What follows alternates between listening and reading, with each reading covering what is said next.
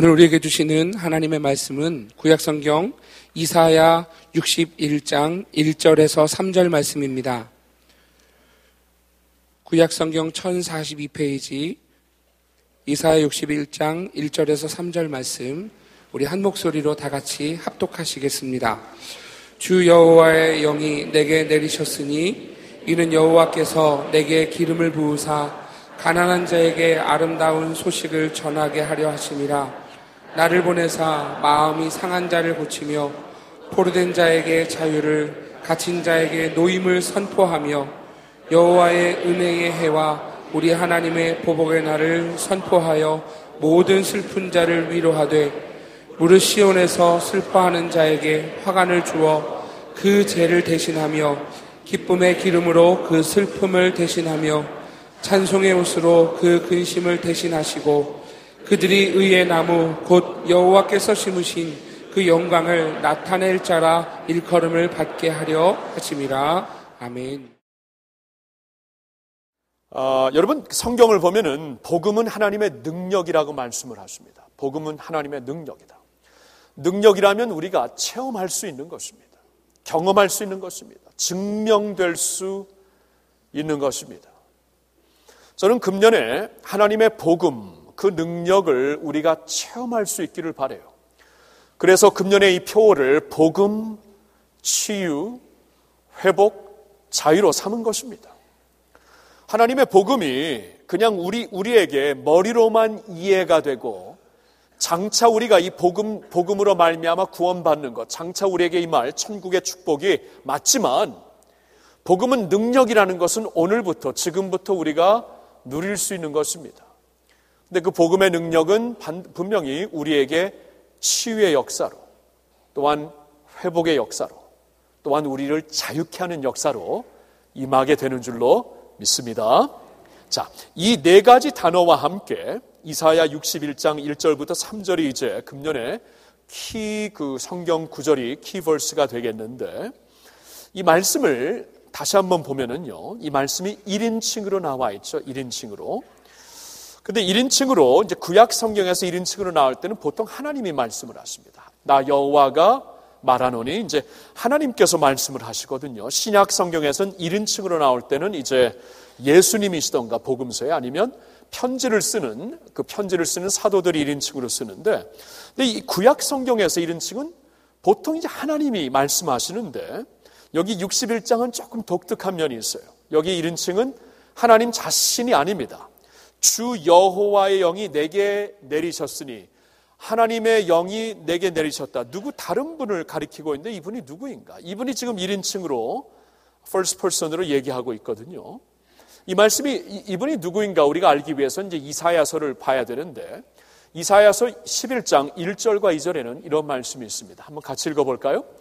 이새의 줄기에서 한 싹이 나며 그 뿌리에서 한 가지가 나서 결실할 것이요 그의 위에 여호와의 영 곧 지혜와 총명의 영이요 모략과 재능의 영이요 지식과 여호와를 경외하는 영이 강림하시리니 여기 보니까 이세의 줄기 이세는 다윗의 아비였죠. 그러니까 다윗의 가문 다윗의 후손들 중에 한 사람이 이제 이 세상에 서게 될 텐데 그에게 여호와의 영 곧 지혜와 총명의 영 모략과 재능의 영이 임하게 된다. 이 다윗의 자손 다윗의 후손 누구를 말하는 것일까요? 누구일까요? 예수님이죠. 그렇죠? 예수님. 다윗의 자손. 그래서 이제 신약 성경도 아브라함과 다윗의 자손 예수 그리스도의 세계라 이렇게 시작이 되고 있죠. 어, 그래서 이제 이사야 9장 6절과 7절에서는 조금 더 명확하게 말씀을 해 주십니다. 이는 한 아기가 우리에게 낳았고 한 아기가 성령으로 잉태하사 동정녀 마리아에게 탄생한 한 아기가 우리에게 낳는데 그 아들을 우리에게 주신 바 되었는데 그의 어깨는 정사를 메었고 그의 이름은 기묘자라 모사라. 이 말씀은 wonderful counselor이라는 뜻이죠. 전능하신 하나님이라. 그 하나님이 분명히 계신데 그 아기를 가리켜 전능하신 하나님이라. 영전하시는 아버지라. 평강의 왕이라 할 것입니다. 굉장한 아기죠. 그 정사와 평강의 더함이 무궁하며 또 다윗의 왕자와 그의 나라에 군림하여 그 나라를 굳게 세우고 지금 이후로 영원히 정의와 공의로 그것을 보존하실 것이나 만군의 여호와 열심히 이를 이루시리라. 그러니까 이분에게는 아이에게는 이 엄청난 타이틀이 주어집니다. 그는 영전하시는 아버지, 아, 전능하신 하나님. 이 보통 사람이 아니라는 것이죠. 그리고 그에게는 다윗의 정권, 다윗의 왕권이 주어질 텐데 그의 아, 정사는 영원할 것이다. 예수님의 나라를 가리키는 것입니다. 그러니까 이사야에서 갑자기 이렇게 하나님이 아니신 우리가 이제 보통 알았던 하나님 아버지 여호와 하나님이 아니신 다른 분이 1인칭으로 얘기할 때는 분명히 이것은 바로 이제 성자 하나님 예수께서 성육신 하시어서 세상에 태어나시기 전에 성육신 하시기 전에 영어로 말하면 pre-incarnate Christ입니다. 어, 그 성육신 하시기 전에 예수님께서 주시는 말씀입니다. 주님께서 분명히 말씀을 하세요. 주님께서 언젠가 오시게 되면 반드시 일을 하리라 하고 우리에게 약속을 하시고 있습니다. 이 약속, 이 분명한 사명감을 갖고 이 세상에 오시어서 이렇게 한 가지 한 가지 한 가지 쭉 이런 모든 것을 할 것이니 내 안에서 이 약속을 누리며 살라. 예수로 말미암아 내세의 천국의 소망은 물론이지만 예수님을 영접함으로 예수님이 오심으로 말미암아 여기 약속하신 이 모든 것을 누리며 살라. 이것이 오늘 말씀의 포인트가 되는 것이고요. 내일 특별 새벽 기도에서는 예수님께서 누가복음 4장에 이 말씀을 그대로 자신에게 적용하시는 4장을 보면서 조금 더 구체적으로 오늘날 주시는 말씀으로 우리가 보도록 하겠습니다. 자, 그러면 이제 저와 함께 여러분들이 이제 보고 싶은 것은 여기서 예수님이 약속하시는 약속들입니다. 예수님이 오심으로 말미암아 이 약속을 주시겠다는 약속을 하나씩 하나씩 네 가지를 우리가 보면서 그 약속을 우리가 그럼 누리면서 살 수 있겠구나. 그 약속이 이제 우리의 삶 가운데 복음이 능력이 되어서 우리의 삶 가운데 이렇게 브레이크로 하시고 우리에게 이렇게 그 적용되는 하나님의 약속이 되겠구나. 이것을 우리가 한번 깨달았으면 좋겠어요. 첫째로는 무슨 약속이냐 하면은 가난한 자에게 아름다운 소식을 전해 주시겠다는 겁니다.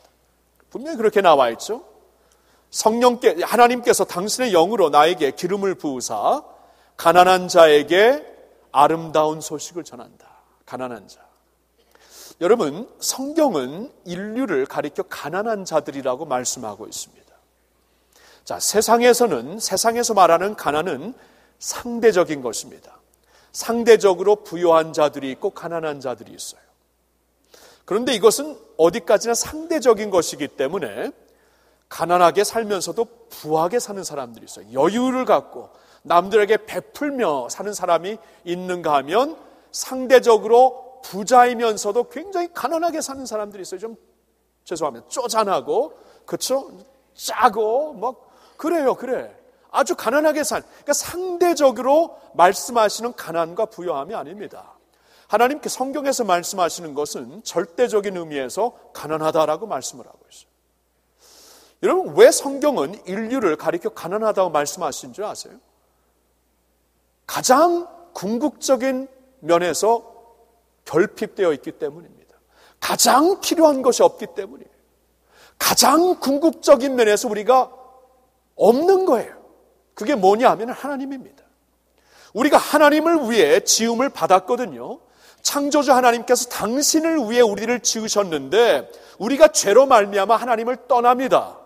인류가 죄로 말미암아 하나님을 떠나고 성경에 보니까 허물과 죄로 인하여 죽었다 말씀을 하십니다.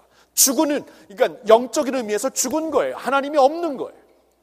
그러니까 모든 인류가 죄로 말미암아 하나님이 없기 때문에 성경은 가난하다. 아무리 이 세상에서 많은 것을 체험을 받아봐라. 절대로 그것의 체험을, 우리 체험을 줄 수 없다고 말씀을 하시는 것입니다.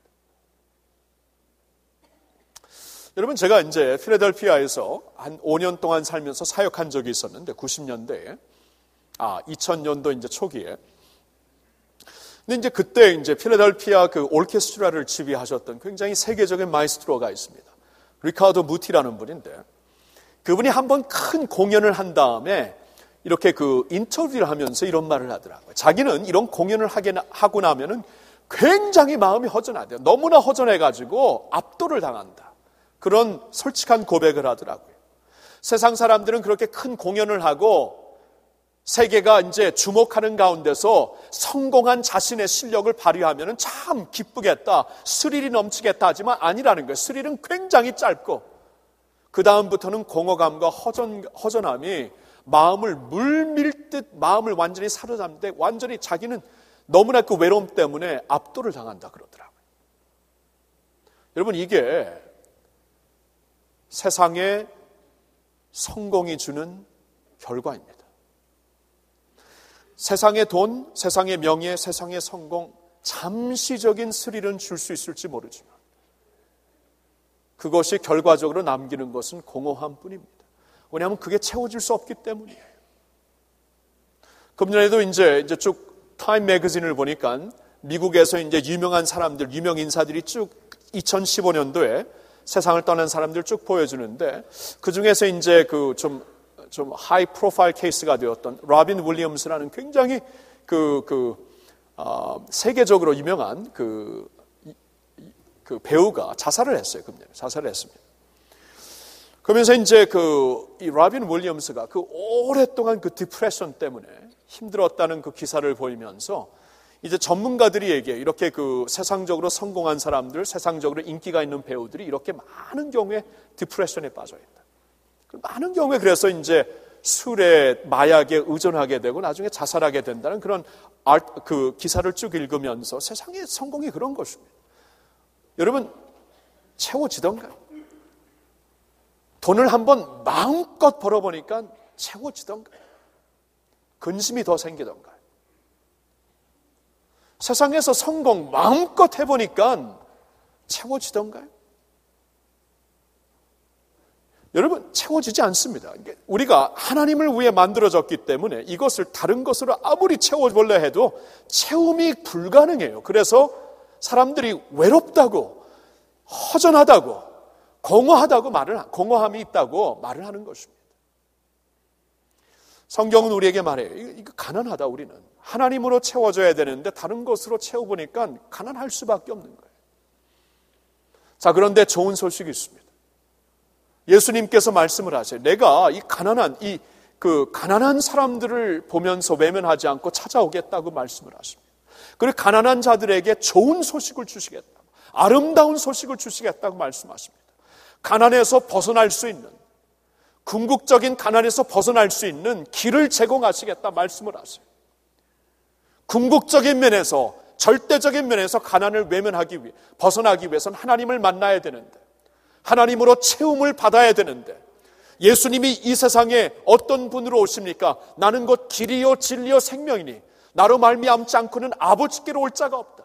길과 진리와 생명이 되시어서 길이 된다는 것은 하나님께 나갈 수 있는 길로 웨이로서 우리에 오시는 것이고 진리는 하나님을 알 수 있는 하나님의 진리로서 지식으로 우리를 찾아오시는 것이고 하나님의 생명을 누릴 수 있는 생명 그 자체가 되어서 우리를 찾아오시기 때문에 가난한 자들에게 가장 필요한 아름다운 소식 예수 그리스도가 하나님께로 나갈 수 있는 길이요 진리요 생명이라는 사실을 여러분 믿으시기를 바랍니다. 여러분 탕자의 스토리를 보면은 아들이 아버지를 떠나 방탕하다가 어느 정도 배고프니까 돼지 우리를 찾습니다. 근데 나중에 진짜 배고파지니까 아버지를 찾습니다. 이게 20세기에 영국에 굉장히 유명했던 말튼 로이 존스라는 목사님께서 하신 설교에 설교에서 인용한 말씀인데 그분이 그래요. 사람이 적당히 배고프면 돼지 우리를 찾지만 진짜 배고프면 아버지를 찾는다. 그렇죠? 세상의 흙탕물을 찾아요. 웬만큼 배고프니까 여기서 배고프니까 이것을 찾습니다. 가정에서 뭐, 뭐 배고프니까 뭐 다른 여자를 찾아요. 거기서도 배고프니까 뭐 더 음란한 삶을 삽니다. 여기서 채워지지 않으니까 술을 찾습니다. 여기서 세상의 스리를 찾습니다. 세상의 재미를 찾습니다. 웬만큼 배고프니까 또 흙탕물을 찾는 거예요. 웬만큼 배고프니까 돼지우리를 찾지만 진짜 배고프니까 아버지를 찾는다. 여러분 우리가 진짜 배고플 때 하나님 아버지를 찾아야 돼. 하나님 아버지 다른 데서 채울 수가 없습니다. 근데 하나님 아버지를 찾아 나오는데 그 길이 막혀 있다면 갈 수 있는 알 수 있는 길이 막혀 있다면 이것은 절망 그 자체가 아니겠습니까? 근데 아름다운 소식이며 좋은 소식이며 우리가 진짜 배고파서 아버지를 찾았는데 아버지를 찾아갖고 예수께로 나왔는데 그분이 아버지께로 갈 수 있는 길이 되시고 세상에 여러 종교들은 여러 길이 있다고 하는데 예수님은 I am the way 바로 그 길이다 하나님께 갈 수 있는 길이 되시고 하나님을 알 수 있는 지혜가 되시고 하나님의 생명을 누릴 수 있는 생명이 되시니 우리는 더 이상 배고프고 가난한 영적으로 가난한 자리에 남아 있을 필요가 없습니다. 할렐루야입니까? 남아 있을 필요가 없어요. 체험을 받을 수가 있다는 것입니다. 가난한 자들에게 아름다운 소식을 갖고 주님이 찾아오십니다. 두 번째로는 마음이 상한 자를 고쳐 주시려고 오십니다. 마음이 상한 자를 고치시려 오신다. 여러분 예수님이 이 세상에 계실 때 많은 무리들이 그를 따랐어요. 왜냐하면 그는 the great healer, 위대한 치료자이셨기 때문입니다. 가는 곳마다 예수님께서 말씀하시면 병이 났습니다. 마귀가 악령이 나갑니다. 죽은 자가 다시 살아납니다. 예수님이 손을 대시니 다시 서게 됩니다. 문둥병이 없어집니다. 예수님이 치유자였어요. 치료자였어요. 치료자. 주님께서 이 세상을 보시고 세상에 있는 모든 사람들이 상한 갈대와 같다는 것을 아신 거예요. 상한 갈대. 부러지기 일부 직전입니다. 세상 모든 사람들이 꺼져가는 등불이에요. 이제 완전히 꺼지기 일부 직전입니다. 그렇죠. 그러한 우리를 보시고 치료자로 찾아오신다는 거예요. 치료자로. 특별히 마음의 상한, 이 마, 상한 마음을 치료하시려고. 여러분, 육신이 왜 아프냐? 많은 경우에 마음이 상해서 아픈 거예요. 영혼이 왜 아프냐? 마음이 상해서 아픈 거예요. 마음이 상해서. 마음을 치료하시려고 오신다는 겁니다. 그래서 이사야 42장 3절엔 그런 말씀이 있죠. 하나님께서는 상한 갈대를 꺾지 아니하시고 꺼져가는 등불을 끄지 아니하신다. 말씀을 하십니다. 그리고 주님이 우리를 진정 치유하실 수 있는 파월은 어디서 나오냐 하면 그분이 그분 자신이 상했기 때문이에요. 예수님 자신이 상했습니다. wounded healer. 자신이 직접 상했기 때문에 몸이 상하고 마음이 상하고 그래서 우리 아픔을 아십니다. 우리 아픔을 아세요. 우리 어려움을 아세요. 그래서 그분이 이해하시면서 치유를 하시는 거예요. 여러분 여기 마음이 상하지 않은 자 얼마나 되세요? 한 명이라도 있습니까?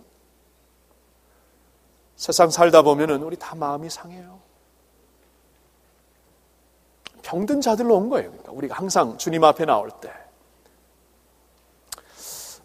그 얼마 전에 이제 작년에 사역을 마치고 떠나시는 목사님이 있어 성별회를 이제 목회자들과 쭉 하는데 대화를 하다가 응답하라 1988이라는 대, 화를 나누는데 저만 바보더라고요. 저는 무슨 말인지 몰랐어요. 응답하라 19 저는 무슨 편지 보내기 운동인 줄 알았어요. 편지.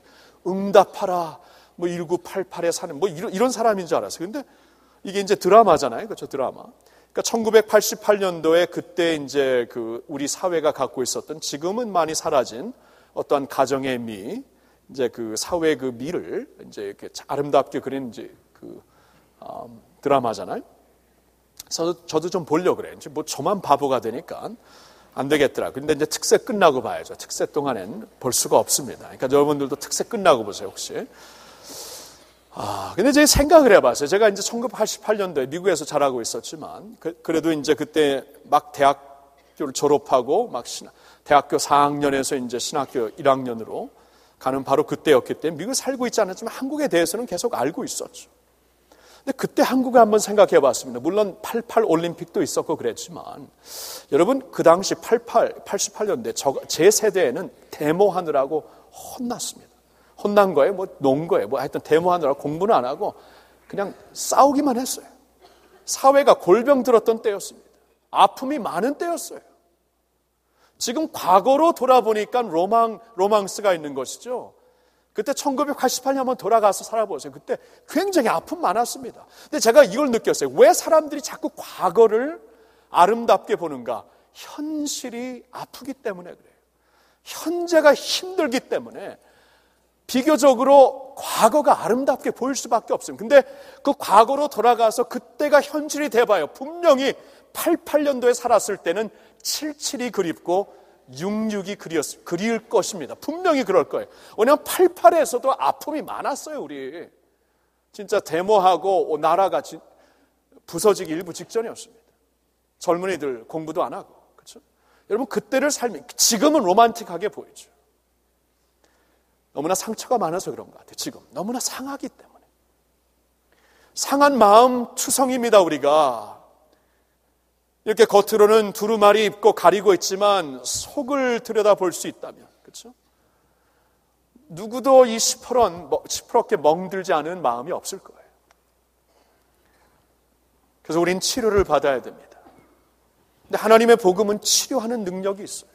예수님 자신이 치료자였기 때문에 wounded healer 자신이 상하면서 우리를 치유하신 분이었기 때문에 예수님이 계신 그곳에 예수님의 영이 있는 그곳에, 예수님의 말씀이 있는 그곳에, 주님의 은혜가 있는 그곳에 하나님의 치유가 있는 줄로 믿습니다.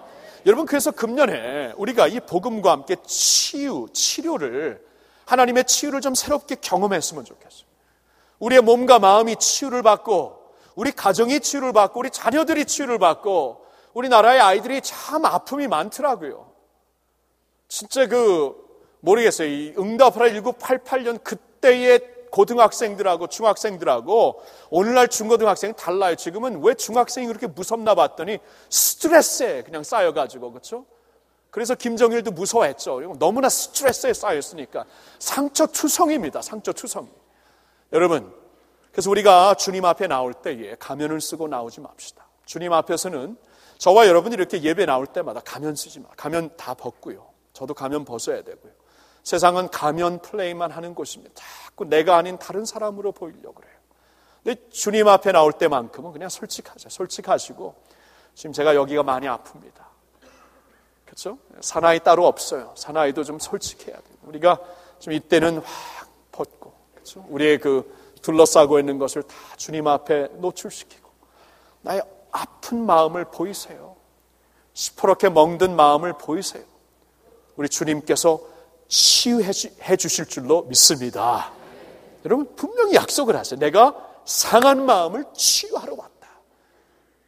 주님께서 치유하러 오셨는데, 여러분, 치유 안 받고 가시면 여러분만 손해예요.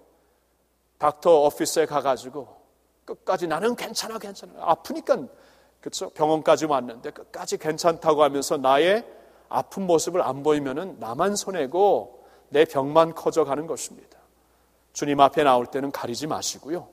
병든 모습 그대로 나오시면 주님께서 사랑의 손길로 여러분 안수하시고 주님의 치유의 손길로 터치해 주실 줄로 믿습니다. 세 번째로는 포로된 자를 자유케 하신다라는 약속을 주십니다. 포로된 자를 자유케 하신다.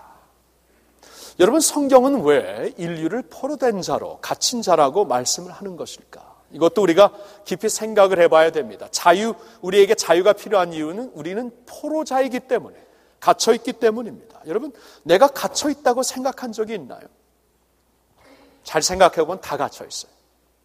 틀에 갇혀 있고, 사람들의 보는 눈에 다 갇혀 있고, 나의 어떠한 그 자만심에 갇혀 있고, 뭐 이생의 자랑에 갇혀 있고, 중독성에 갇혀 있고, 다 갇혀 있어요. 성경은 그대로 말씀합니다. 우리는 포로라고. 근데 왜 포로인가 하면 죄 때문이에요. 죄를 가지고 마귀가 우리를 가만 놔주지 않습니다. 죄는 사탄 마귀가 이렇게 손을 이렇게 사용할 수 있는 무기예요. 성경을 볼까요? 에베소서 2장 1절부터 3절을 한번 보겠습니다.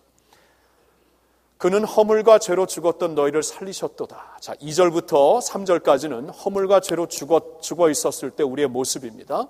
2절과 3절 다 같이 읽습니다. 그때 너희는 그 가운데서 행하여 이 세상 풍조를 따르고 공중의 권세 잡은 자를 따랐으니 곧 지금 불순종의 아들들 가운데서 역사하는 영이라 전에는 우리도 다 그 가운데서 우리 육체의 욕심을 따라 지내며 육체와 마음에 원하는 것을 하여 다른 이들과 같이 본질상 진노의 자녀였더니 잘 보세요. 우리가 죄 죄가 우리 안에 죄가 해결되지 아니할 때 또 죄를 가지고 살 때 어떻게 사냐면은 보니까 그 죄를 가지고 공, 공중의 권세 잡은 자, 이절을 보니까 공중의 권세 잡은 자는 마귀, 사탄을 가리키는데 공중의 권세 잡은 자를 그 죄, 죄의 임팩트가 공중의 권세 잡은 자를 따르게 만든다는. 근데 공중의 권세 잡은 자는 지금 불순종의 아들들 가운데서 하나님을 불순, 반항하는 아들들 가운데서 역사는 영입니다. 그 영에 우리는 그 사로잡히는 거예요. 따를 수밖에 없게 되는 거예요. 그 3절에 보니까 전에는 그때는 우리도 다 그 가운데서 우리 육체와 육체의 욕심을 따라 지냈고 육체와 마음에 원하는 것을 하여 다른 일과 같이 본질상 진노의 자녀야. 육체와 마음에 원하는 것을 하여 이런 면에서는 짐승들과 똑같습니다.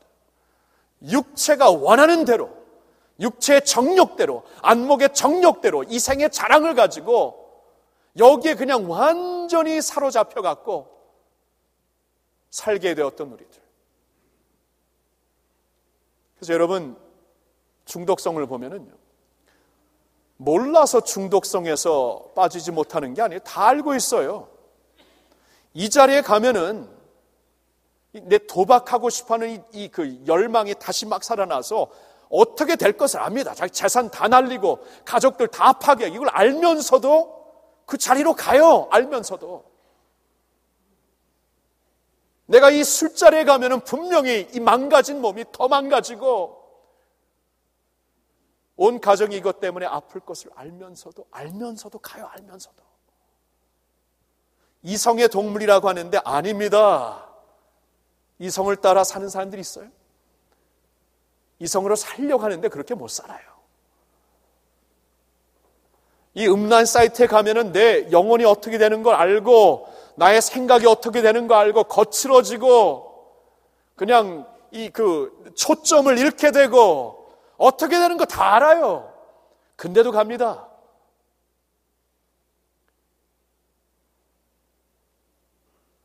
여러분, 이, 게 인간이 사로잡혔어요. 우리가 사로잡혔습니다. 그래서 주님이 보시고 아는 거예요. 이게 포로들이기 때문에 노임이, 노임을 받아야 된다. 그래서 예수님이 이 세상에 오시는데 어떻게 오시냐면 진리로 오십니다. 자, 이게 굉장히 중요해요. 노임을 받기 위해서 예수님 안에서 요한복음 8장 31절 32절의 말씀 다 같이 읽습니다. 너희가 내 말에 거하면 참으로 내 제자가 되고 진리를 알지니 진리가 너희를 자유롭게 하리라. 아멘. 너희가 포로로 잡혀 있는데 잡혀 있는 그곳에서 이제 너희를 풀어주기 위해서 내가 진리로 왔다. 그러니까 내 진리인 말씀, 내 말을 따라 살면 내 제자가 되면서, 그러니까 우리가 자유롭게 된다는 것이 이 문제에서 억압된 데서 나오는 게 자유라고 생각하는데 성경은 아니라고 합니다. 억압돼서 나오면은 또 다른 억압이 나를 기다리고 있어요. 그러니까 억압돼서 나오는 게 자유가 아니라 예수님의 말씀을 붙잡고 예수님의 진리로 사는 것이 자유라고 말씀을 하시고 있어요. 이게 자유입니다. 그러니까 내가 억압되어 있을 때, 내가 어디, 어디에 묶여 있을 때, 억압된 자리에서 내가 좀 풀어나오고 싶다. 이게 초점이 되면 안 된다는 거예요. 예수님이 초점이 돼야 돼. 예수님이. 주님의 진리가 초점이 돼야 돼. 이건 마치 뭐가 같냐면 어항에 있는 물고기입니다. 어항에 있는 물고기, 나 여기 잡혀 있기 싫다. 여기 갇혀 있기 싫다 하면서 그 어항에서 뽕 나와 봐요. 뽕 나오는 거가 하면 뿅 나와 봐요. 한번 나와 봐요. 그럼 어떻게 죽죠? 어항이 싫다고 이 억압된 게 싫다고 그냥 나와 봐요. 죽어요. 물고기에 필요한 것은 물을 만나야죠. 물을.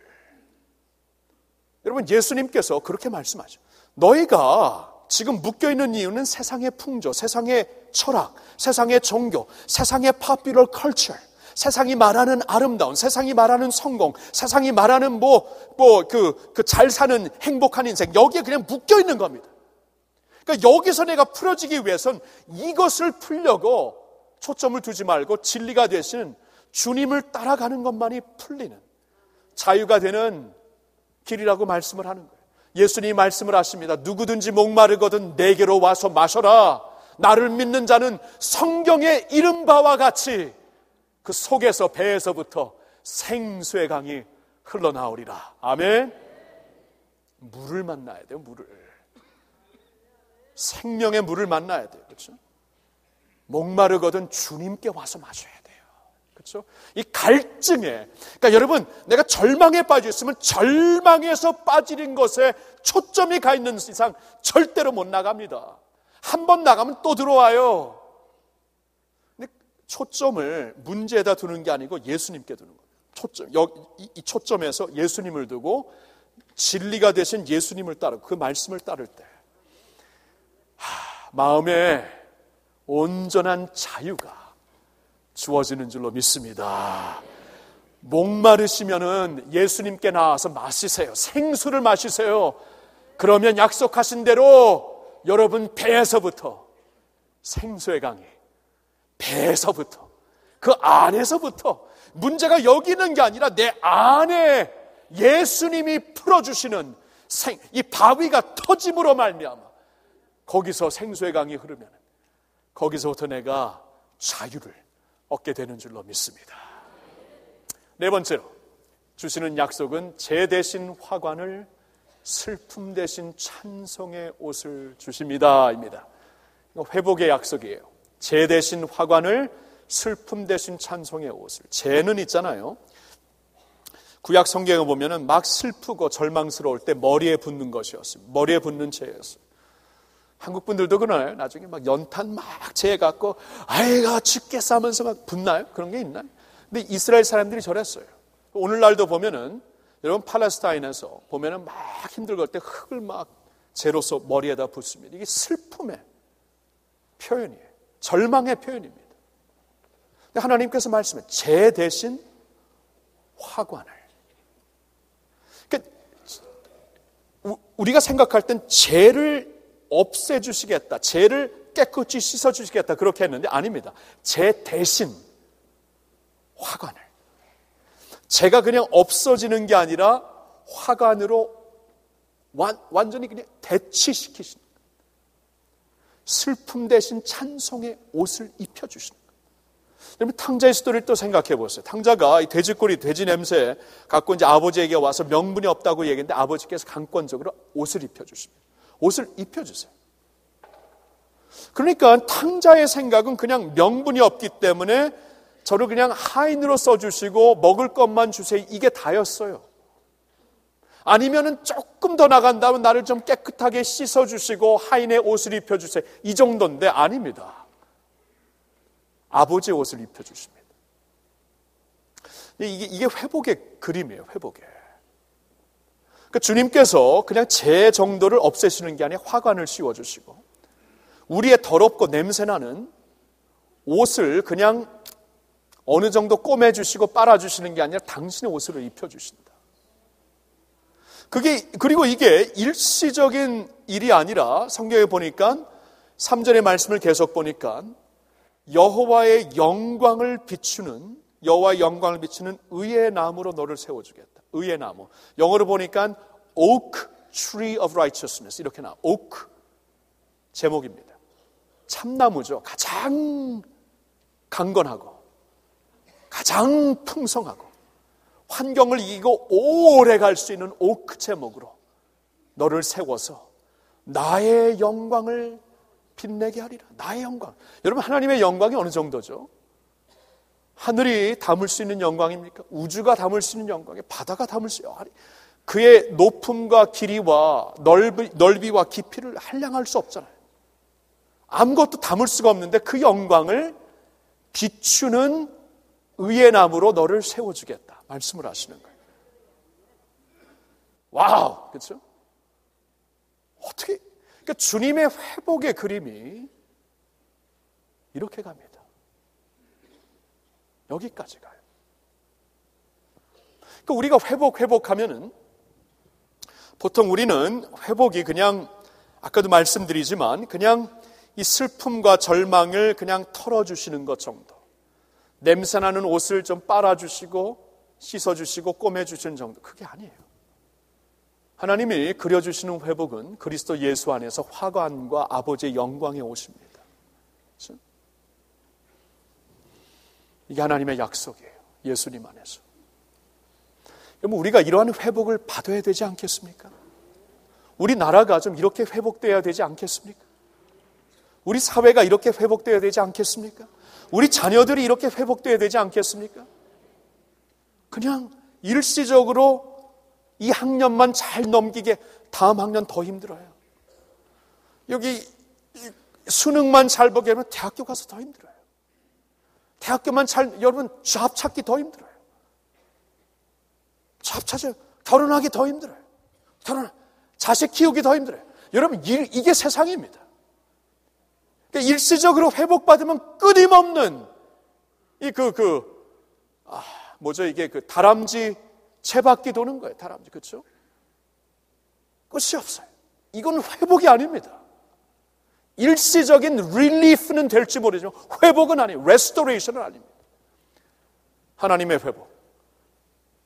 환경이 어떠하든지 하나님의 의로운 오크 제목으로 강건하게 서 있는 거예요. 환경을 이겨버리는 겁니다. 그 환경 가운데 돌이 어두우면 더 화찬란하게 빛이 비춰지고 어려우면 더 화려하게 주님의 영광의 빛이 비춰지고 이 회복을 하나님께서 약속을 하시고 있는 거예요. 여러분 이런 약속 원치 않으세요? 원치 않으세요? 원, 원하십니까? 그렇죠.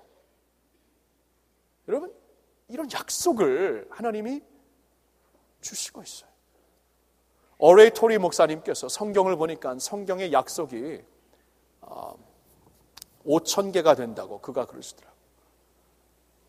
5천 개가 되는 하나님의 약속이 있습니다. 그 5천 개를 365일로 이렇게 그 아, 우리가 이제 나누기를 해보면 하루하루 다른 약속만 붙잡아도 12개를 붙잡을 수가 있어요. 하루하루 다른 약속만 붙잡아. 약속을 그냥 창고에다 쌓아놓고 있을 겁니까? 어레토리가 그 말씀을 하시면서 그 목사님 그래요.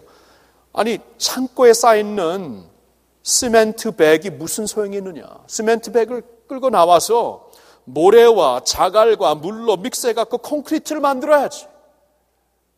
마찬가지 하나님의 약속이 아무리 많아도 매일매일 내가 붙잡을 수 있는 약속이 12개가 된다고 할지라도 자국자국 창고에만 쌓아놓고 나의 일, 일 반적인 생활에 아무런 영향력을 주지 못하는 약속이라면 무슨 소용이 있겠어요? 그걸 갖고 나와야죠. 그리고 믹스시켜야죠. 나의 믿음과 나의 그 기대감으로 믹스시키고 나의 그 삶 속에 적용하고 기대감, 내가 그 사모함으로 적용시켜야죠. 믹스를 해야죠. 물과 믿음의 물과 바라는 뭐 자갈과 모래와 믹스를 시켜서 콘크리트를 만들어서 이제는 그 위에서 달릴 수 있는 하이웨이를 달릴 수 있는 사람들이 돼야죠. 저는 이게 금년을 열면서 우리 교회를 향한 또 여러분들을 향한 간절한 소망입니다. 우리 교회를 향한 간절한 소망. 영광성에서도 우리가 불렀듯이 하나님의 새로운 부흥을 좀 사모하고 있습니다.